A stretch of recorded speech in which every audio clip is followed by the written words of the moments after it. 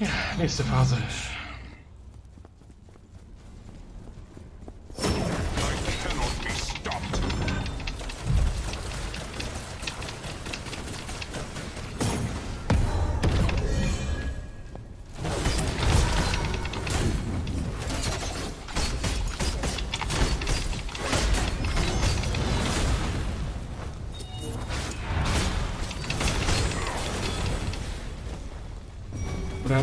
Einfach nur eine andere Waffe genommen? You are hopeless. Oh, was liegt denn hier?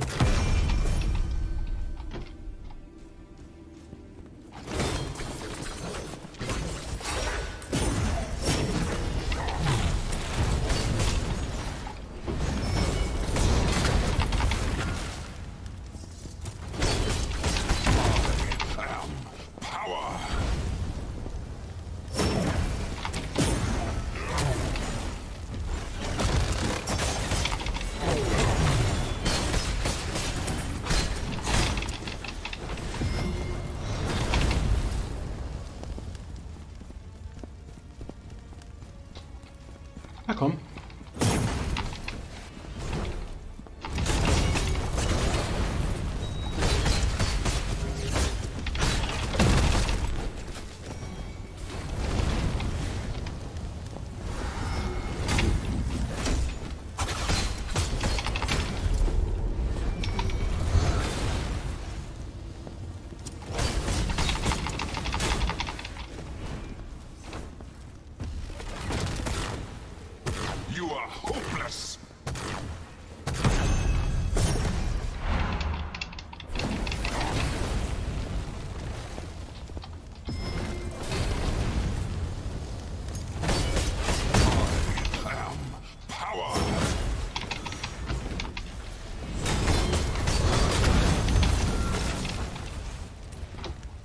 Okay, ich gehe mal hier rüber.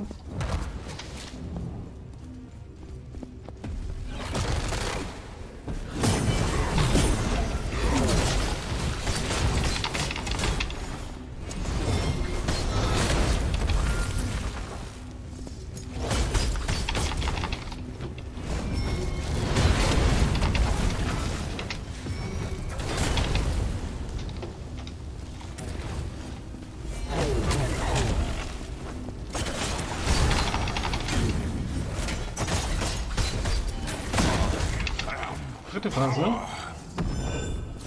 Das gefällt mir.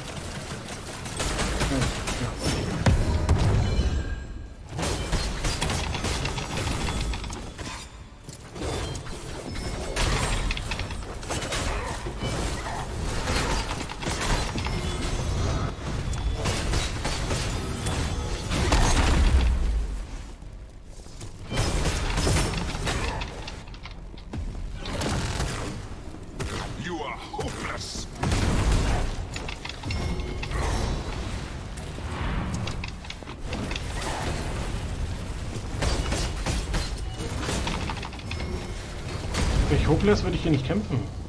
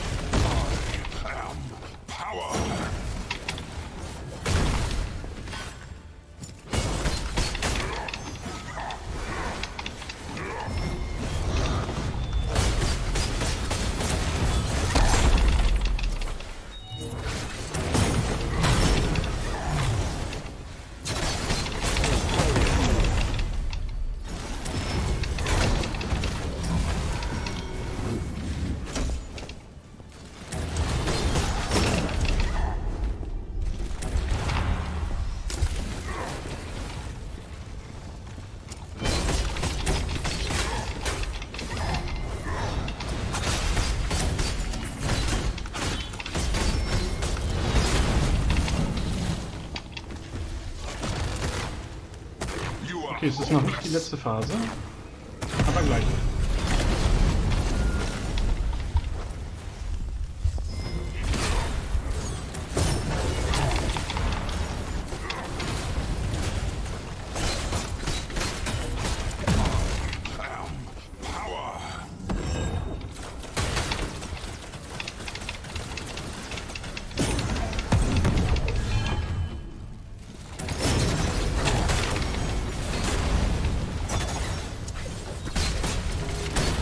Jetzt hat er sich an.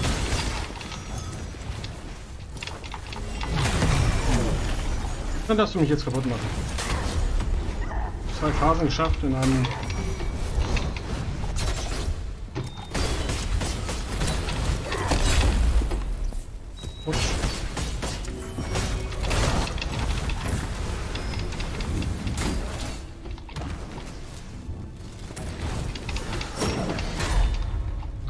keine Ahnung, was das V da macht. Das.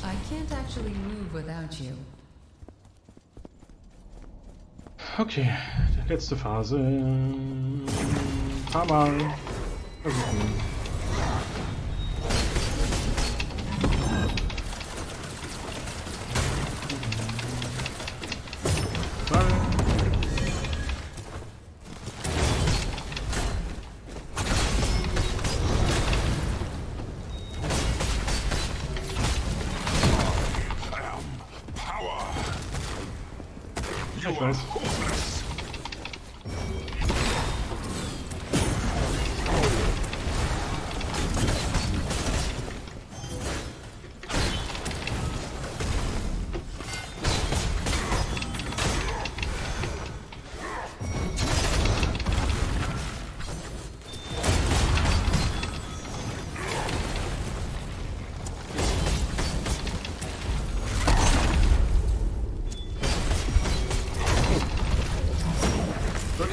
Energie nehmen,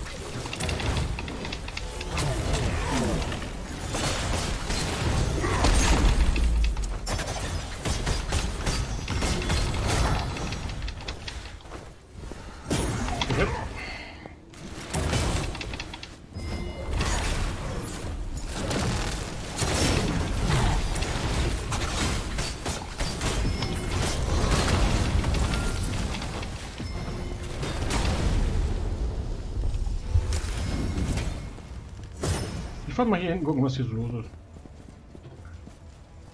Wahrscheinlich nichts.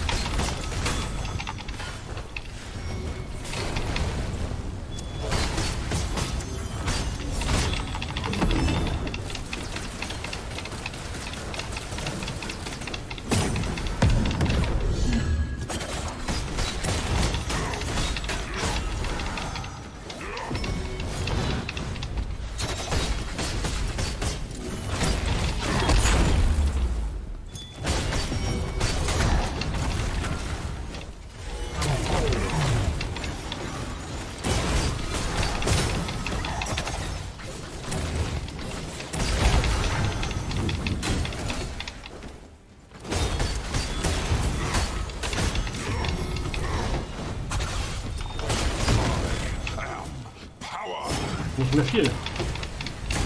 Power.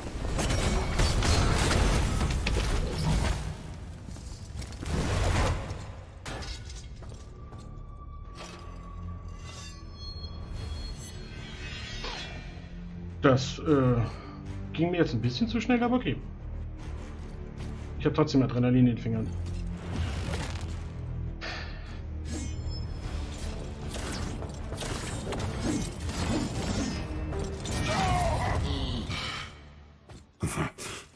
It's over, Macros.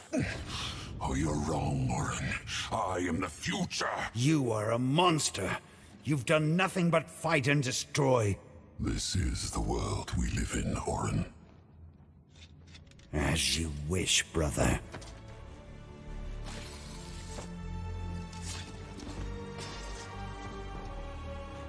This is the world we live in. Okay, dann war es das mit dem Bruder und jetzt bin ich gespannt, was mit dem siebten Sanktum passiert, wenn das Rites of Ascension startet. Ritus des Aufstiegs. The rites of ascension need to be completed, or the backlash is going to tear reality apart. I need to do this, This could kill you. You know that. or I could become a god. Ja, was ist out. Ich bin gespannt.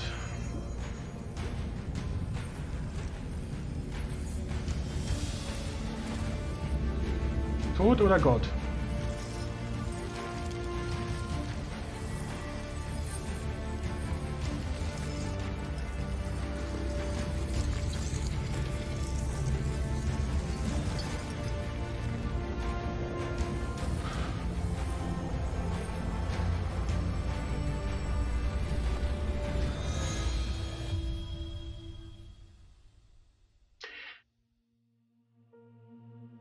Okay, es passiert doch noch was. Ich wollte schon anfangen mit Nachspannen.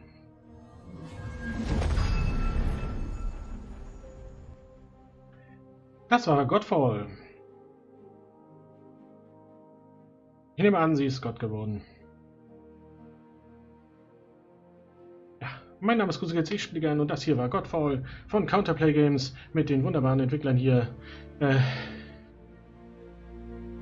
ja, ich fand das Spiel schön. Äh, erst die kleine Welt, äh, oh Quatsch, erst dieser großartige Film mit äh, Götter, die die Welt erobern und äh, die Brüder, die die Welt erobern und dann äh, ja, haut der eine den anderen aufs Maul und dann fällt er runter. Muss wieder von vorne anfangen. Dann haben wir uns hochgearbeitet, haben die ersten von seinen Assistenten da erledigt in der Bodenwelt. Dann sind wir weitergekommen in die nächste Ebene die völlig anders aussah, aber wunderschön. Wie auch der Anfang wunderschön aussah. Und äh, haben uns dadurch gekämpft, haben alle kaputt gemacht, die da waren, sind dann weiter aufgestiegen, sind in die nächste Luftfeuerwelt. Genau, Erde, Luft, Feuer, Wasser, Wasserwelt, Wasserwelt war auch schön. Dann dachte ich, wir kommen noch weiter hoch in die nächste Welt, aber da waren nur noch Makros und den haben wir dann jetzt eben kaputt gemacht. Schneller, als ich erwartet hätte. So. Also wenn man Spaß an solchen Spielen hat, kann man euch das empfehlen. Äh, kann aber auch jeden verstehen, der andere Kampfspiele, Kampfspiele eher bevorzugt. Danke aber den Entwicklern, dass sie es gemacht haben. Ich glaube, Gearbox Publishing kommt auch gleich nochmal. Schon wieder vergessen, wie die Hersteller heißen. Meine äh, Erinnerung an die Entwickler. Bei manchen Studios weiß ich es, bei manchen nicht. Gearbox äh, taucht hier auch noch auf und ich hoffe, der Nachspann ist nicht so lange wie bei anderen Gearbox-Titeln, wo alle aufgelistet wurden und das dann nach einer Stunde immer noch ein paar Namen auftauchten mit äh, Copyright-Sachen und so. Ja, genau. Gearbox hat ja auch Shift, da kann man kurz eingeben und dann kriegt man irgendwelche Bonussachen. Das muss man ja auch noch eingeben. Äh, angeben. Sony war dabei und einige andere Spiele. Ich finde die Musik übrigens schön und bin mir ziemlich sicher, dass wir gleich nach dem Nachspann wieder ins normale Spiel zurückkehren und vielleicht noch was erfahren. Was jetzt in dem Video noch nicht so klar war. Ich nehme an, äh, das siebte Sanktum ist, Sanktum ist ein Gott geworden und nicht irgendwie zum Opfer geworden. Und wir können halt in der Welt noch frei rumlaufen, Sach Orte erkunden, Sachen rausfinden, 100% Achievements erreichen und einfach weiter metzeln. Art Bully Productions fällt mir gerade auf. Der Name zumindest. Manche Sachen fallen einem ja nicht so auf, manche fallen einem sofort auf. Hey, Bully. Amerikanisch für äh, hier, äh, der Typ, der dich in der Schule geärgert hat.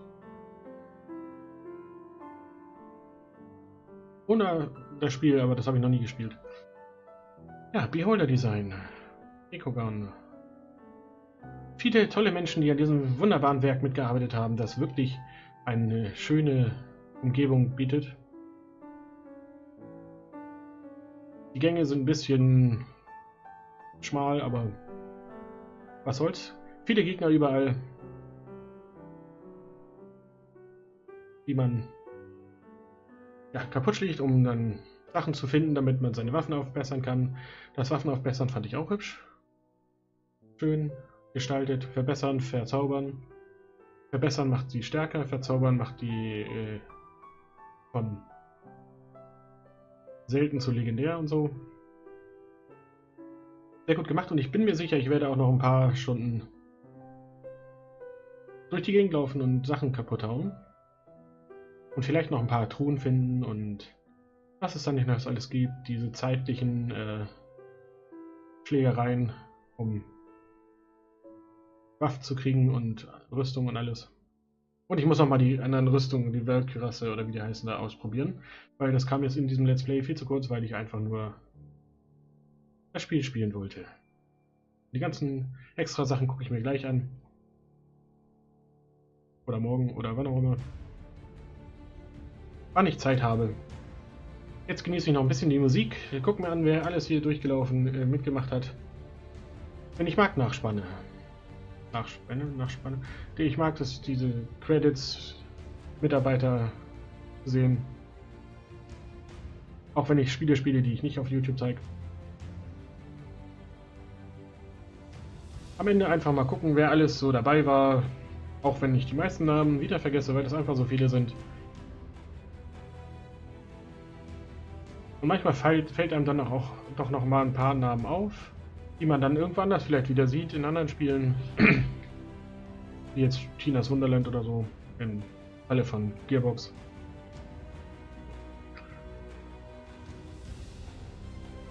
Oder Firmen wie Kaufland Knights oder Looty Games Company. Die Pixel Mafia, die habe ich glaube ich schon mal gehört. So Namen vergisst man ja nicht. Ja, äh, ich fand auch die Waffengattung schön. Äh, einen Hammer habe ich zwar nicht wirklich ausprobiert, weil das im letzten Spiel, also in einem anderen Spiel schon nicht so geil war. Aber diese Doppelschwerter fand ich gut, die Einzelschwerter fand ich gut. Ich muss noch mal gucken, diesen Stab habe ich auch, glaube ich, nicht ausprobiert. Also man kann es wirklich, glaube ich, so spielen, wie man äh, am besten damit klarkommt. Und es gibt verschiedene Varianten, wie man damit klarkommt. Und Ich schau mal, was es noch so gibt. Vielleicht hätte ich auch mit dem anderen Waffe viel besser gekämpft. Vielleicht hätte ich das Schwer, äh, Schild auch mal besser einsetzen sollen. Aber ich habe nie behauptet, dass ich sehr gut in dem Spiel wäre. Ich habe nur gedacht, ich will das spielen. Oh, Warner Bros. Audio, Game Audio. Wardog. Und da kommen auch schon die besonderen Danksagungen an die Familie, an Leute, die ihren Teil dazu beigetragen haben, ohne direkt am Spiel zu arbeiten. Dann bin ich mir sicher, dass gleich noch die Babys kommen, die während der Entwicklung entstanden sind. Und was es nicht noch so alles gibt.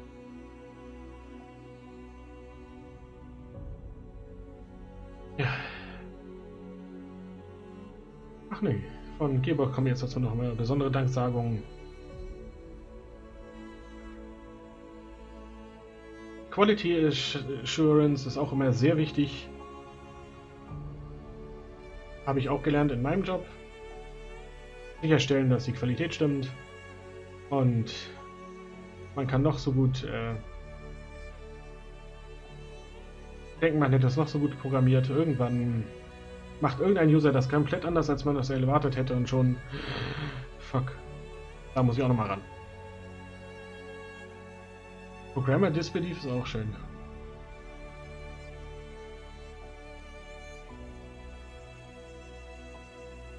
Gibt hier wirklich Leute, die nicht dran glauben, dass was die Leute alle machen wollen? Ah, das sind die Babys. Und damit endet wahrscheinlich der Nachspann. Ich danke erstmal für die Aufmerksamkeit. Bis zum nächsten Mal. Das war Godfall. Ich bin gespannt, was jetzt noch äh, im Open Game ist, wenn ich den, nachdem ich Gegner erledigt, äh, Endgegner erledigt habe. Ah, da kommt auch ein Video.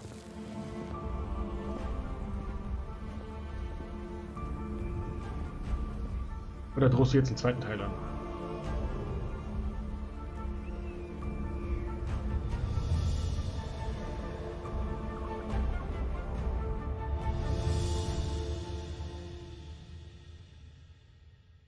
Ich lasse das als Zweit des zweiten Teils durchgehen.